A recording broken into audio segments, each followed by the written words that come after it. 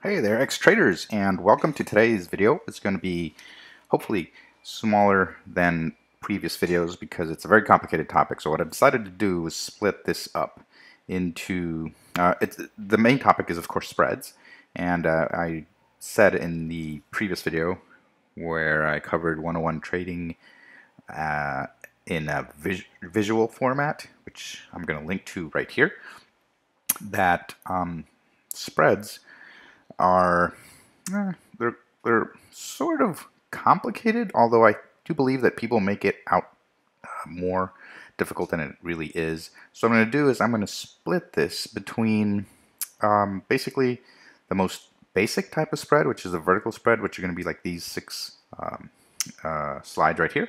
And then in the next uh, video, I will go into uh, basically the other type of spread, which is uh, one that includes the factor of time.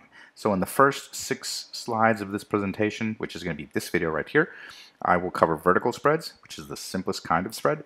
And then in the second video, so it's going to be a two-part series, I'm going to talk about calendar spreads. And basically the difference between these two is, mm, let's say it is mostly the time factor, all right?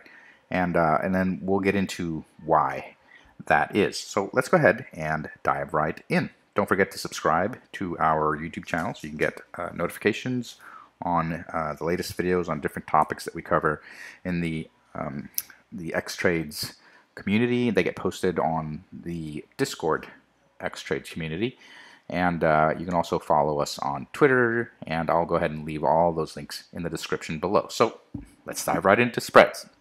Okay, so um, a incredibly quick uh, recap of time decay in options. Basically, time decay is, or, or let's just say time, is what makes uh, options possible. Okay, uh, otherwise uh, it, uh, it, it wouldn't be, I guess, possible because the difference between stocks and options is that in stocks you get into a trade, uh, obviously buy low, sell high, and then you get out whenever you want to. But with options, you can't really get out whenever you want to. You have to get out before expiration, which is marked here in bright danger precaution red. Okay, so uh, that is the main difference, uh, the biggest difference between stocks and options. In options, you have to get out before the ship sinks. Basically, it always sinks. Time eventually runs out and you reach, expiry, and that is when the entire contract goes to zero, which is why in the previous video, which I linked to right here, um, we talked about, or we compared it, we compared options to a hot potato. Okay, so um, basically, somebody decides to take a guess on what the price of a stock is going to be in the future. Um, and there's two sides to every bet, obviously. There has to be a, uh, a winner and a loser. And uh, basically, the person who writes the option contract and then uh, sells it, of course, is betting that it the option will be out of the money which means it won't be at that strike price at that expiration date. And whoever bought the call, which is obviously on the opposite side or believes the opposite, uh, is basically saying, yes, that stock will be at that strike price on that expiration. Okay, so um, from then on, it becomes this game of hot potato. Uh, and one of the things that we must keep in mind is that uh, the option price, okay, the value of the, your option is uh, going to fluctuate, obviously um, up or down. And because from the moment it is conceived or you know created or written, uh, uh, actually, that option is the farthest from expiration that it can be. So it is incredibly the unknown is let's say greater. There are a lot of things that can happen between time zero and time expiry that will change the price of that option. If it goes above the strike price, then it increases in value. If it goes below, it decreases in value.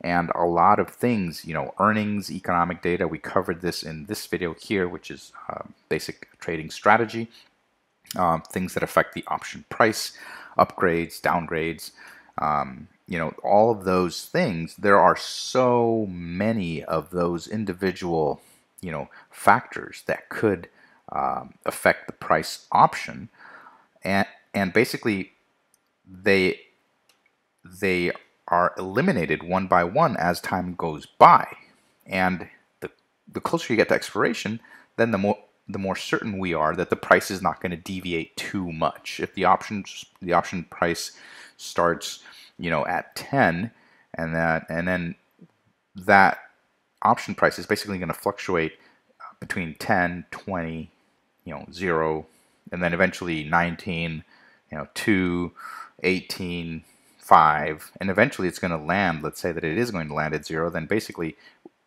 at expiration it's going to be somewhere between 9 and 11. Okay, so the closer you get to expiration, the more we know with uh, with highest precision what that price, final price is going to be. So that is what gives options their value. Basically, the of both parties, the buyer and the seller, um, of what the actual final price is going to be on expiration. Okay, and the closer you get to expiration, mm, then it's easier to tell then who's going to be the winner. Okay, and that is when that uncertainty basically flows out of the option, and then that is also why the option's value eventually drops to zero because of that time decay the closer you get to expiration until it is worth actually zero. Uh, the slowest time decay happens at the beginning, and then the fastest time decay happens towards the end. So when you buy an option, it's going to rocket. It's probably going to rocket. It's probably going to rocket more around near expiration date, and uh, which makes it more exciting to trade. You can make a lot more money, but it also makes it more dangerous because you can lose everything in a day.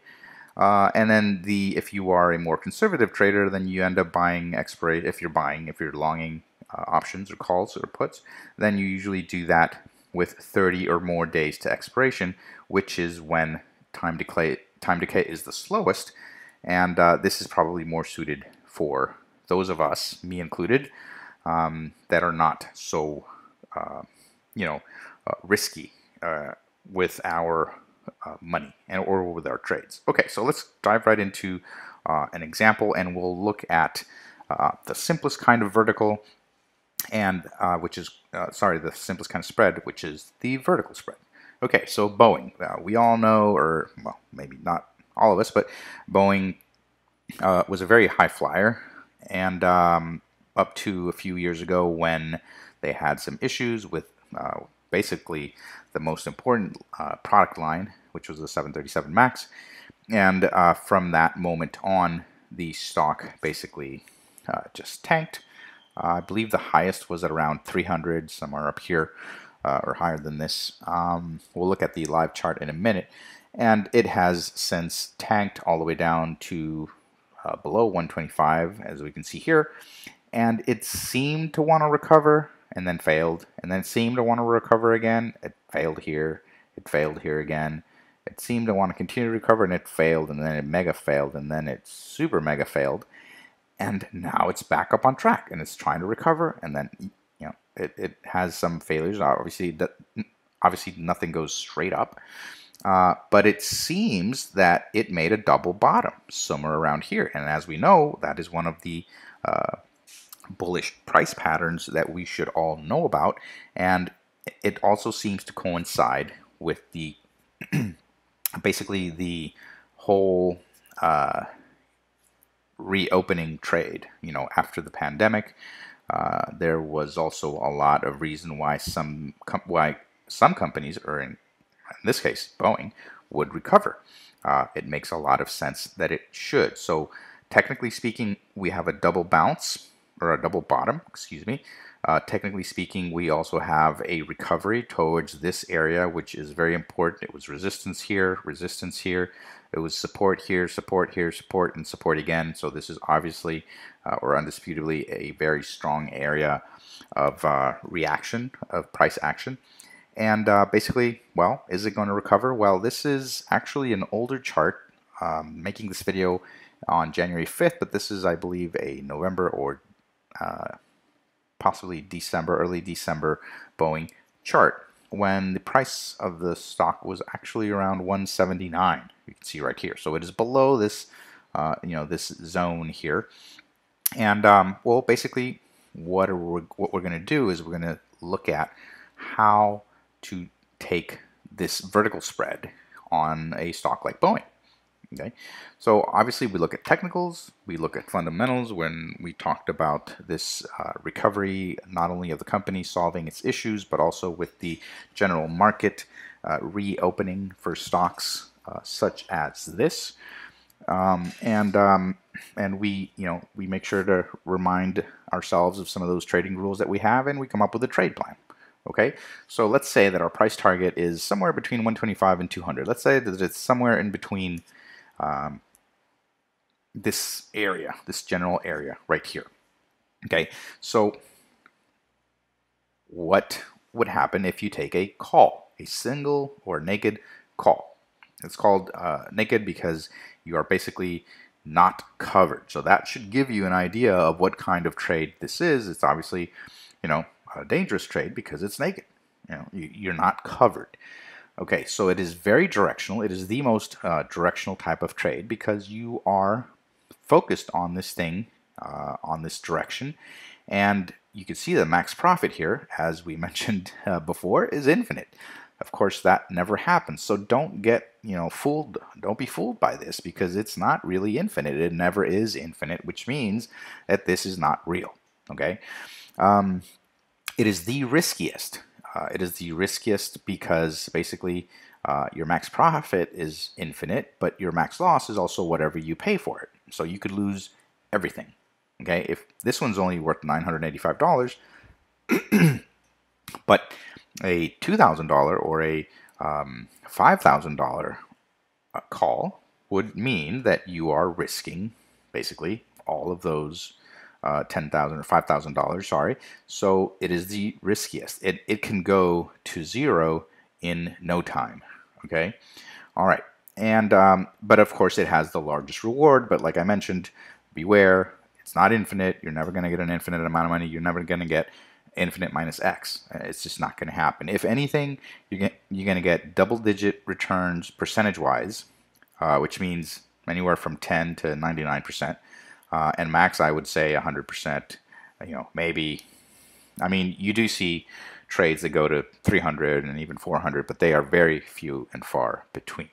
Okay, so that is what the naked call is basically telling us. This is the break even, 204. We're buying the 195 call, but it cost us uh, basically um, uh, $1,000 or so.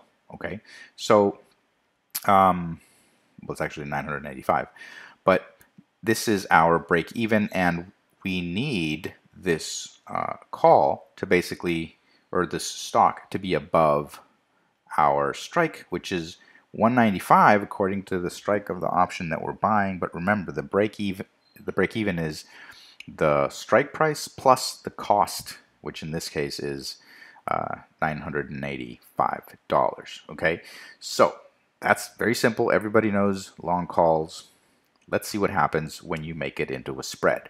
Basically, it's still directional, but you are hedging or covering yourself in a way so that it is no longer a naked spread. You're not uh, so exposed. So how does that happen? Basically, you limit your reward and you limit your risk. So that's the trade-off. So let's look at the numbers now. So now your max profit is not infinite. That's fine. It probably never was uh, it's only $1,285. Okay, uh, and your max loss, so you've limited your profit from infinite down to 1,200. But look at this, you also limited your loss, limited your risk down from 985, which is what the debit was that you were paying for that call, to 715. Why? Because you're actually how how is it that you are reducing your exposure or your risk or your max loss or your debit because that 985 is being offset because now you are also selling a call. You're not just buying a call. So what you do is you still buy the call below the current price, okay, but you sell a call above the current price, which is what this horizontal line does. This horizontal line means that you are not going to profit above whatever this price level is here, which is about 205. Okay, so you are only going to make from your break even to this 205, from the 192 to the 205. If it keeps going, you're not going to profit from it. Okay, that's not the case in the long call. If you recall, in the long call, after 200 or after 195, you kept going and going and going, and that's why max profit was infinite. All right, so here you're capping your reward, you're capping your gain, and in, in exchange for a limit in your risk. You are reducing your risk from $985 to 715 Okay, and that is very easy to do. You basically take whatever long call gets alerted to and you sell a call on a strike price above. Okay, and there is some toying around with these strikes and that's the last thing we're going to look at in this video. So originally the call was for 195, okay? Remember right here, you're buying 195. So you're betting that this, which is currently at 179, is going to reach 195, somewhere up here above this level, okay? Now, when you do the vertical spread, you actually bring your 185 in and you open up to 205. So what have you done? That means that now this thing could go anywhere between 185, which is lower than 195, and could go all the way to 205. So what you're doing is you're basically opening up how much you, what zone you could be profitable in. Okay, and we actually have another example which we'll look at right now in order to compare this. We, when we take the naked call, we do a 195. Okay, when you do a spread, you can bring this strike in, which means instead of 195, you can buy a 185. But what happens is the 185 is more expensive. But remember why it's more expensive. They're more expensive because they are more probable. The delta is higher on the lower strikes for the calls.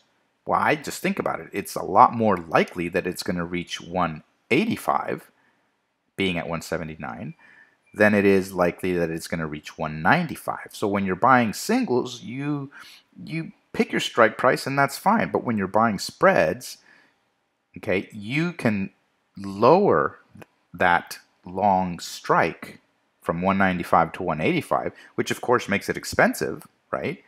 But remember, you're selling a call above. So that gives you a credit. So even though you you bought a lower strike, which is more expensive, your complete debit, your net debit in the end, is lower than the 195 call because you're selling the 205 strike against it. Okay, and now let's look and compare it with this other one. This is basically a $20 wide strike because it goes from 185 to 205. That's a $20 difference right there. Here, we're going to compare it to a $10 strike. Okay, so you bring in the 185 to 190, and you bring down the 205 to 200. Now let's look at what that actually looks like on here. Okay, so that's our zone, let's say, and this is of course uh, already in January. So if we look back at this, uh, okay, yep, that was right here. So that was early December, okay, when this was trying to recover back towards this towards this zone, which is the zone that we are interested in. Um, uh, as let's say that this is a magnet zone. Okay, some people call it a, a demand zone, a, a, supply zone, but it's basically a, a, support resistance level, which is wherever price reacts to a lot. Okay, and I had this a little bit wider on the presentation, but that's fine. Basically, if this is headed back towards this zone, which we were, we were right here at the beginning of December, then we're betting that this thing is going to go up to this zone and it might bounce back down or it might break through, which apparently it broke through, but back then we weren't sure. So we're just betting on the fact that this thing is going to make it till 195. All right, so what we want to do here is if I can find uh, the rectangle to just give you an idea, okay, uh, the first strike is 195. The first spread is 185 to 205. 185 would be down here.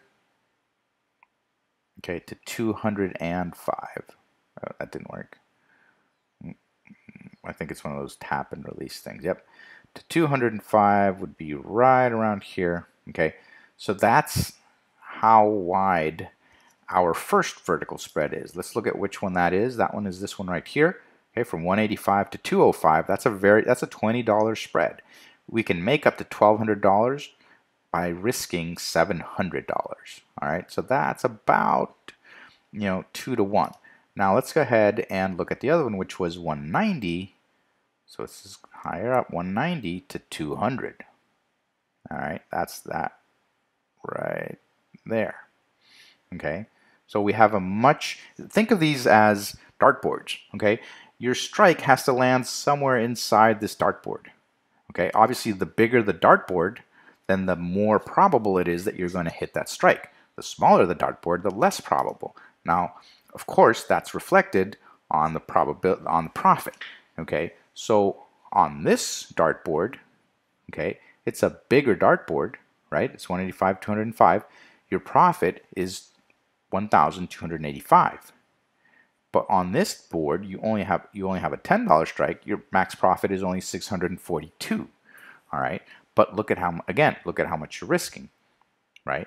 So again, the basic idea is that you are um, reducing your debit, which means that you are reducing your max loss, which means that you are limiting your risk, and you are obviously capping your reward because above a certain level, above that uh, short strike, you're not going to make any more money even if the stock keeps going up. So that is basically the trade-off and that is what happens when you take a vertical spread. Now look at how this this went down basically from you risking $1,000 to you risking $350. So this is a lot more palatable for a lot of a lot of traders, especially more conservative traders. Okay, so this is why uh, we use spreads. Uh, you want to take the 190 call? That's what was alerted to. Mm, but let me go ahead and sell a, a call above that. So I'll profit from 190 all the way to 200. But after that, I won't. Okay. So let's go ahead and look at the comparison so we can end this video and uh, I'll put the other one out next week. So on the single, you're risking 985. On the vertical wide, we, we were risking 715. On the vertical tight, we were work we were risking $350. So that's a very nice comparison on on how a vertical spread can reduce your risk or your net debit or max loss, however you want to look at it. Um, the reward on the single was infinite, but really, you know, was it really infinite? Not not not so sure about that. Uh, not very likely.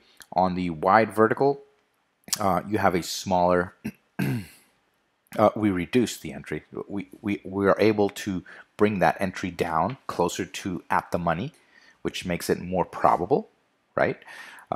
On the on the tight vertical, uh, in exchange we have this narrower range. So it's a smaller debit, uh, but it's it's also a, a narrower range that you have compared to the vertical wide, which has a wide range, right? okay, um, and then obviously you have a, a, a much wider range uh, in which it can be in the money. So you want to buy in the money, uh, which is not necessarily the case in other spreads, uh, but you can. You know, that's the point. You can buy in the money because you're selling that other call, which reduces your entry, your entry cost. Right. And in the tight vertical, well, obviously it is a much uh, it is a much smaller range, but you can still buy in the money because it's a vertical and you can see the difference. I mean, we're talking uh, 50% or sorry, well, yeah, 50% or 100% uh, difference between $700 and $300, $350. Okay, so this is why uh, verticals are a lot more appealing. Okay, and uh, and for certain kinds of traders, more conservative traders, because you can go ahead and basically uh, take a trade, which is normally very expensive, which means that it's very likely to be in the money because if you've noticed on the options chain, the uh, strikes that are in the money are obviously more expensive, but they also have the highest delta. It is more likely that those prices are going to be the final price or are, are going to be in the money uh, when expiry is reached. So the pro the problem that many traders run into is that they look at the very expensive in the money uh, options and they they shy away from them. And they'll go and they'll look at the delta on the options chain and they'll end up choosing or they won't look at the delta. What they'll do is they look at the actual price and then they'll be like, mm, do I want to get something that's 900, you know, or so dollars? No, that's too expensive. I want something that's like $300. You know, so I'll go for the $300. But you're actually picking an option uh, an option that has a much smaller probability of ending up in the money, which means that it's going to go to zero a lot quicker. So, you know, do you really want to take that trade off? Do you really want to go for the cheaper contracts just because they are cheaper, but you have a greater probability of losing everything? Well, in using spreads, and in the case of vertical spread, you can go ahead and get a smaller debit or smaller price contract, something that's still like $300, or you can get even $200 or $100, um, you know, with the spread, but you're not getting something that's so out of the money, you know, so you're not getting something that's improbable to reach. You are getting those 190, you know, 185 strikes, which are a lot more probable to end up in the money uh, than you would if you go ahead and get something like 225 or something like that. Right, so that is the beauty of the spread, and in this case, in this particular case, the vertical spread. Uh, don't go for the cheaper contracts just because they're cheaper, because uh, the cheaper they are on the options chain as you uh, go higher in price, in strike price, speaking of the uh, the calls, the cheaper they are, the less probable they are to end up in the money, which means the less probable you are uh, of making money with one of those contracts. So it doesn't really make sense.